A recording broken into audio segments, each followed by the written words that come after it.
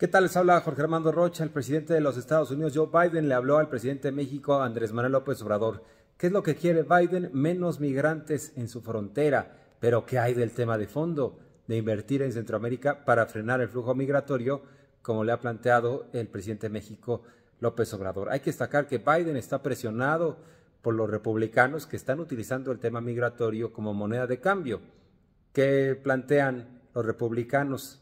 Eh, que votarían en favor de ayuda a Israel y a Ucrania, sí, claro, en armamento y en esas cosas, eh, pero siempre y cuando eh, Biden endurezca su política migratoria. También hay expresiones muy inhumanas en contra de los migrantes que provienen de Donald Trump y acciones terribles como la del gobernador de Texas, Greg Abbott, quien, entre otras cosas, ha puesto púas en la frontera sur de la entidad y también ha autorizado a los policías estatales a detener a cualquier persona que se tenga sospecha que pueda no tener papeles.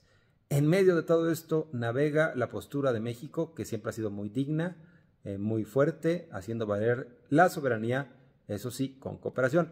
Hay que resaltar que eh, a propósito de esa conversación eh, se ha planteado que vendrán el secretario de Estado Blinken y el secretario del Interior de los Estados Unidos, Mallorcas, eh, además de la asesora de la Casa Blanca en materia de seguridad, Sherwood, y seguramente habrá un nuevo entendimiento.